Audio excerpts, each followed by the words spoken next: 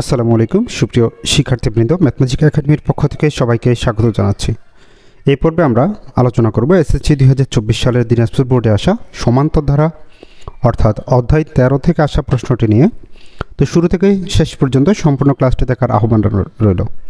এই ক্লাসটি অত্যন্ত গুরুত্বপূর্ণ এবং এই প্রশ্নটা, এখানে যে ক্যাটাগরির প্রশ্নটা দেওয়া আছে টাইপটা অতীব জরুরি তোমাদের জন্য যারা সামনে পরীক্ষা দেবে। অর্থাৎ এসএসসি দুই হাজার পঁচিশ কিংবা পরবর্তীতে যারা পরীক্ষা দিবে, তাদের জন্য কিন্তু এই প্রশ্নটা খুবই গুরুত্বপূর্ণ। তো কথা না বাড়িয়ে আমি চলে যাচ্ছি প্রশ্নে। এক নঙ্গে বলা হচ্ছে কি, আমাদের উদ্দীপকের। উদ্দীপকের দুইটা পার্ট প্রথম পার্টে বলা হচ্ছে একটি সমান্তর দ্বারা চোদ্দতম পদ সাঁত্রিশ আর উনিশতম পদ হচ্ছে বাহান্ন। আর দ্বিতীয়ত বলছে, একটি গুণোত্তর ধারার সপ্তম পদ হচ্ছে root two by twenty seven এবং দশম পদ হচ্ছে root two by eighty one root three. তো কনক প্রশ্ন বলছে, two minus five minus twelve minus nineteen ধারাটির পনেরোতম পদ নির্ণয় করতে। তো এটা একদম সহজ একটি প্রশ্ন ছিল। আমরা এনতম পদের সূত্র দিয়ে অঙ্কটি সমাধান করে ফেলব। তো প্রথমত আমরা যে কাজটা করব, প্রদত্ত ধারা।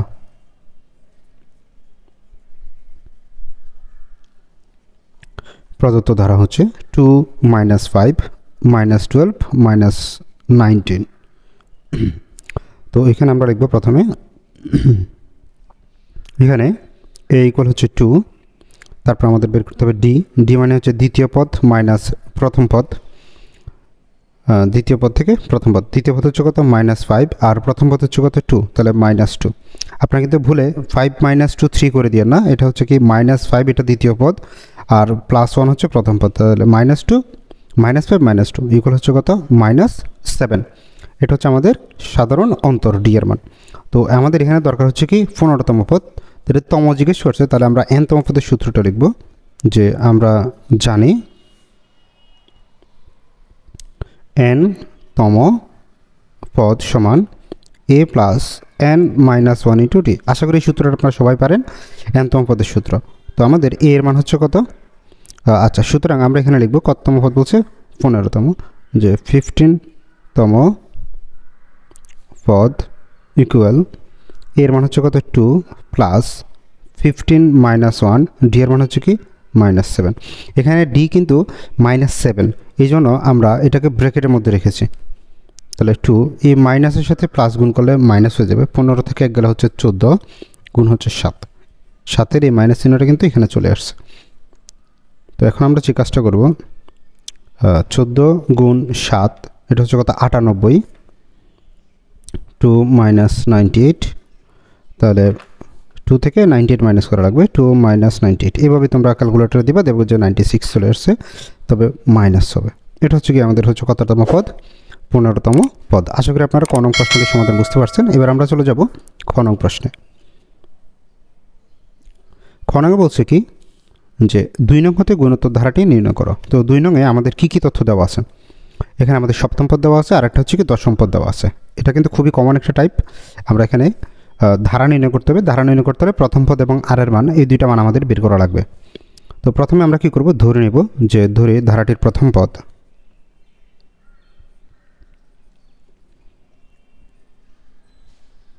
ধারাটির প্রথম পদ হচ্ছে এ আর এটা যেহেতু গুণোত্তর ধারা, তার আমরা লিখব সাধারণ অনুপাত। সাধারণ অনুপাত হচ্ছে কি? আর তো আমরা জানি এটা হচ্ছে কি তম পদ দেওয়া আছে। তাহলে সূত্রগুলো এনতম পদের সূত্র লিখব।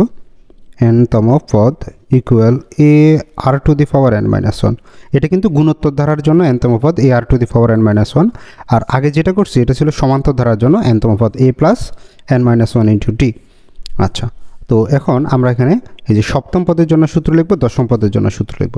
তাহলে সুতরাং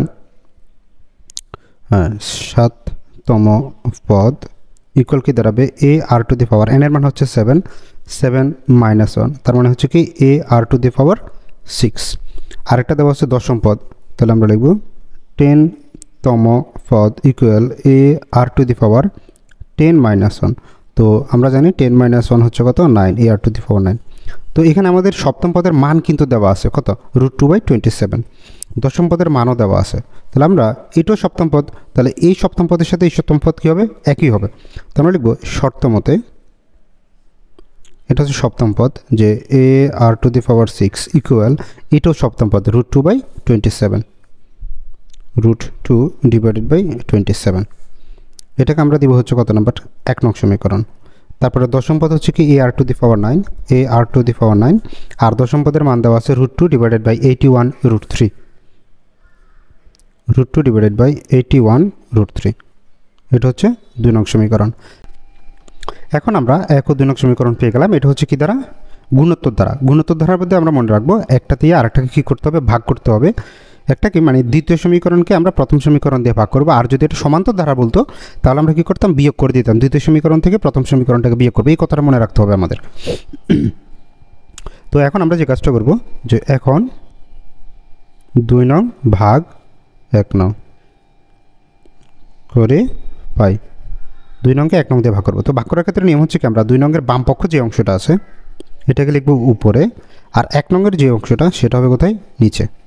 ইকুয়াল একইভাবে দুই নংয়ের এই অংশটা হবে উপরে, একাশি রুট থ্রি তার উপরে হচ্ছে রুট টু আর এক নংয়েরটা হবে কোথায়? নিচে root two by twenty seven এখন এখন দেখো আমরা কী কাজটা করব। এখানে এ, এর সাথে এ কাটা যাবে, আর নিচে হচ্ছে ছয়টা, উপরে হচ্ছে নয়টা। কাটাতে কাটাই করলে আমরা উপরে পাবো হচ্ছে কত? তিনটা। আর এখানে আমরা দুইটা ভগ্নাংশ দেখতেছি ভাগ আকারে, তাহলে উপরের ভগ্নাংশটাকে একদম ঠিকঠাক লিখে ফেলব। একাশি রুট থ্রি ইন্টু আর নিচের ভগ্নাংশটাকে উল্টে দেবো। সাতাশ চলে যাবে কোথায়? উপরে। আর উপরের রুটটা চলে আসবে নিচে। তো আমরা একটু যদি কাটাকাটিটা খেয়াল করে দেখো, এই রুট টুর সাথে রুট টু কাটা যায়। সাতাশ দিয়ে কিন্তু একাশিকে ভাগ করা যায়। দেখো, একাশি ভাগ হচ্ছে কত? সাতাশ। তাহলে আমরা কত পাই? তিন পাবো। তাহলে সাতাশ দিয়ে একাশিকে কাটলে আমরা পাবো তিন। তাহলে আর কিছু থাকে না। তাহলে সুতরাং আচ্ছা সুতরাং না আরও কাজ আছে। আর কিউব ইকুয়াল আমরা পাচ্ছি ওয়ান উপরে যেহেতু কিছু নাই, নিচে থ্রি আছে আর রুট থ্রি আছে। তাহলে মানে থ্রি রুট থ্রি এখন সবচেয়ে গুরুত্বপূর্ণ কাজ অনেকে এই জায়গাটাতেই আটকে যায়। ভালো মতো খেয়াল করো। আমার এখানে আর এর পাওয়ার কত আছে? থ্রি আর এর পাওয়ার থ্রি এখানে আমরা এমন কিছু, এমনভাবে সংখ্যাটা সাজাতে হবে যেন পাওয়ার থ্রি দিলে এটার সাথেই মিলে। ওকে? তো সেটা কীভাবে করব? এখানে কাছে থ্রি রুট থ্রি আমরা যদি খেয়াল করি থ্রিকে কিন্তু আমরা রুট থ্রি হোল স্কোয়ার লিখতে পারি। থ্রি মানে হচ্ছে কি? রুট থ্রি হোল স্কোয়ার তার মানে আমি যদি এই রুট থ্রি হোল স্কোয়ারের সাথে আরেকটা থ্রি গুণ করে দিই, তার মানে থ্রি রুট থ্রি হয়ে যাবে। রুট থ্রি হোল স্কোয়ারের সাথে সরি আরেকটা রুট থ্রি যদি গুণ করি, তাহলে এখানেও আরেকটা রুট থ্রি গুণ করা হলো ভালো মতো বোঝেন। তাহলে এখানে থ্রি রুট থ্রি এখানে এই এই থ্রি মানে হচ্ছে রুট থ্রি হোল স্কোয়ার আর আগের রুট থ্রিতে রইল। তাহলে এখানে আমরা টোটাল রুট থ্রি পাচ্ছি কয়টা? তিনটা। এটা কিন্তু সব ক্ষেত্রে হতো তোমাদের শর্টকাট একদম মনে রাখার জন্য বলে দিচ্ছি, মনে করো। তোমার হচ্ছে কি এ রুটে তার মানে হচ্ছে রুট এ হোল কিউব অর্থাৎ রুট এ হোল কিউব মানে এ রুটে লিখতে পারবা। তারপর মনে করো ফাইভ রুট ফাইভ আছে, তাহলে তোমরা এটাকে লিখতে পারবা রুট ফাইভ হোল কিউব অথবা রুট ফাইভ হোল কিউব আছে, তোমার প্রয়োজনে ফাইভ রুট ফাইভ লিখতে পারবা। আশা করি বিষয়টা তোমরা বুঝতে পারছ। তো এখানে আমরা যে কাজটা করব, যে আর কিউব ইকুয়াল এটাকে আমরা লিখব one by root three whole cube তো হোল কিউব এখানে দেওয়া যে কথা, এখানে যেহেতু ওয়ান ওয়ানের উপরে কিউব দিলে কিন্তু মান পরিবর্তন হবে না। তাহলে একদমই আমরা কী করব? একবারে হোল কিউব দিয়ে দিলাম একটা। তাহলে কী হলো দেখো, এখানে পাওয়ার থ্রি এখানে পাওয়ার কত? থ্রি উভয় পাশের পাওয়ার যদি সেম হয়, তাহলে পাওয়ার পাওয়ার বাদ চলে যায়। তাহলে এখানে আমরা লিখতে পারব r equal one by root three আমরা আর এর মানটা পেয়ে গেলাম। এখন আমাদের দরকার হচ্ছে কার মান? এ এর মান বের করা। তো আমরা কী করব? আর এর মানটাকে এক অথবা দুই যে কোনো একটা সমীকরণের মধ্যে বসিয়ে দেব। এই যে এটা ছিল আমাদের এক নং সমীকরণ, এটা দুই নং। তো আমরা ধরো এক নং সমীকরণে বসাবো আর এর মানটা। তো আমরা লিখব যে এক নং হতে পাই। এক নং সমীকরণ ছিল a r to the power six root two divided by twenty seven. তাহলে আমরা এ পেলাম, আর মানে হচ্ছে কত? One by root three whole to the power six. One by root three. তো এটার উপরে সিক্স আছে, সবটার উপরে সিক্স হবে। এখানে আছে root two by twenty seven. Okay? এখন আমরা এইকে রেখে দিব। রুট থ্রির উপরে কত? সিক্স আছে, দেখো। ওয়ানের উপরে সিক্স মানে ওয়ান। রুট থ্রির উপরে যদি আমরা সিক্স বসাই রুট থ্রি তার উপরে যদি সিক্স বসে, তাহলে পাচ্ছে কত দেখো? টোয়েন্টি সেভেন তাহলে এটা হচ্ছে কি one by twenty seven equal root two by twenty seven তো আমার তো দরকার হচ্ছে এ এর সাথে সম্পূর্ণ অংশটা গুণ আকারে আছে, ওইদিকে গেলে কী হবে? ভাগ হয়ে যাবে। তো এটাকে আমরা ডান পাশে নিয়ে ভাগ করে দেব। তো ডান পাশে নিয়ে এখন এটাকে আমরা কী করব? ভাগ করে দেব। কীভাবে খেয়াল করো? বা এ ইকুয়াল এ পাশে আমার আগে থেকেই ছিল কি? Root two by twenty seven এই টোয়েন্টি সেভেনটা ভাগ মানে নিচে আছে, ওই পাশে গেলে এটা উপরে চলে আসবে। তাহলে ইন্টু টোয়েন্টি সেভেন এই টোয়েন্টি সেভেনের সাথে টোয়েন্টি সেভেন কাটা, তাহলে আমরা এর মান পাচ্ছি কত? রুট টু এখন হচ্ছে আমাদের কি? প্রশ্ন ছিল হচ্ছে আমাদের এই এটার ধারাটা নির্ণয় করতে বলছিল। তো আমরা এখন ধারাটা নির্ণয় করে দেব।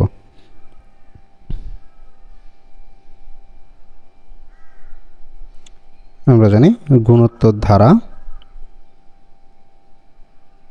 গুণোত্তর ধারাটা এইভাবে লিখতে হয় এ এ আর এ আর স্কোয়ার এ আর কিউব এইভাবে চলতে থাকে ডট ডট এই মানগুলো আমরা এখানে মানগুলো এখন বসিয়ে দেবো, তাহলে হয়ে যাবে।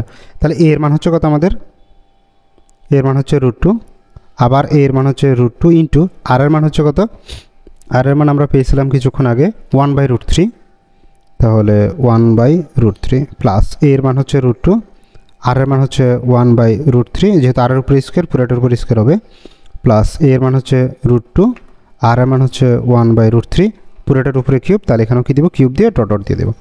ওকে তো এখানে কোনো কাজ নেই, আমরা রুট টু রেখে দিলাম। এখানে তো কাটাকাটি যায় না, তাহলে এটা উপরে চলে যাবে। Root two by root three plus এই রুট টুটাকে আমরা উপরে উঠে দিলাম, উপরে।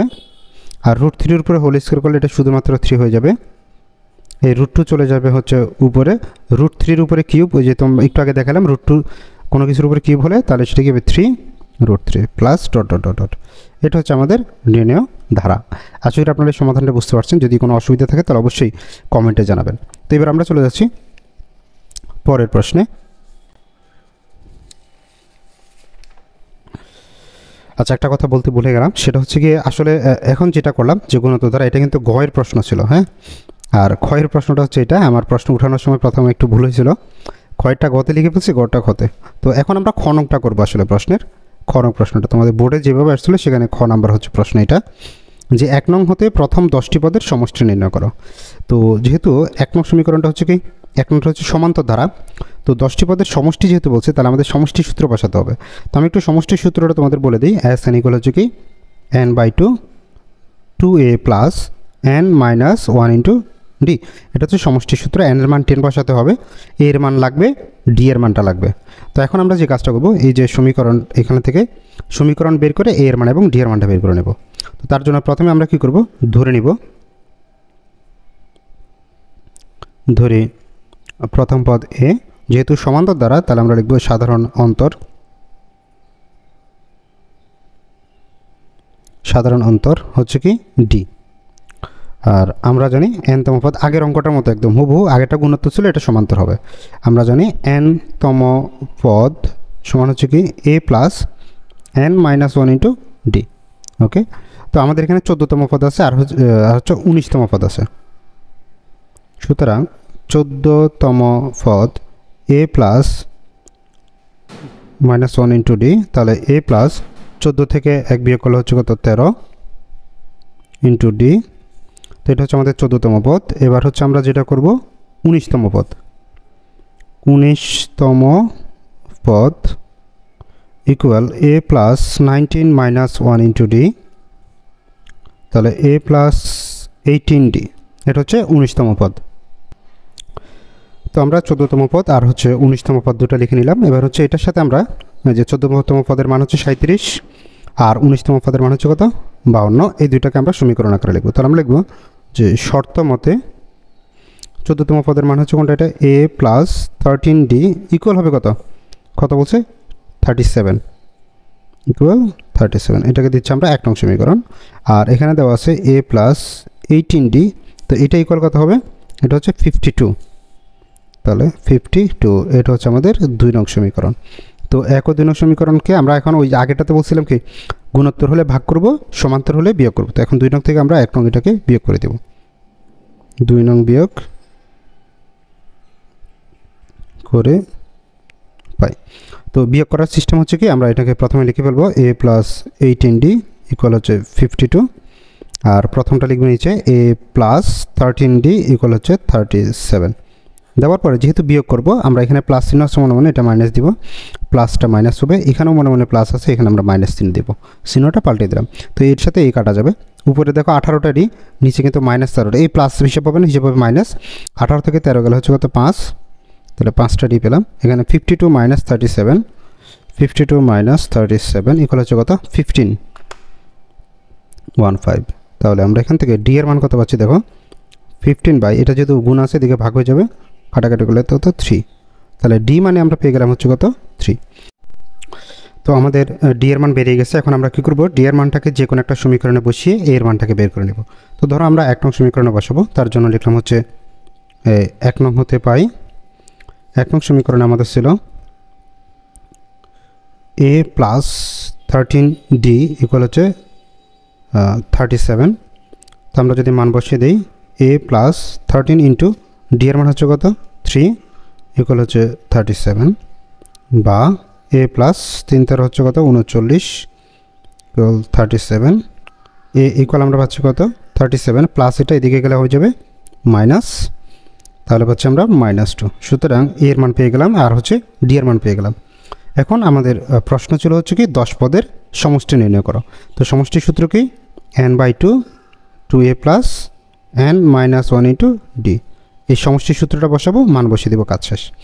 তো এখন আমরা লিখব যে আমরা জানি S n equal n by two two a plus n minus one into d তাহলে সুতরাং এস টেন ইকুয়াল এন মানে হচ্ছে ten ten by two two a a মানে হচ্ছে আমাদের minus two plus n minus one তার মানে হচ্ছে কি টেন মাইনাস ওয়ান ডি এর মান আমরা পেয়েছিলাম হচ্ছে কত? থ্রি কাটাকাটি করলে আমরা পাচ্ছি ফাইভ ফাইভ লিখলাম, আর এখানে দুই দুগুণা চার মাইনাস থাকবে প্লাস এখানে হচ্ছে দশ থেকে এক বিয়োগ করলে নয়, নয়ের সাথে তিন গুণ করলে হচ্ছে সাতাশ।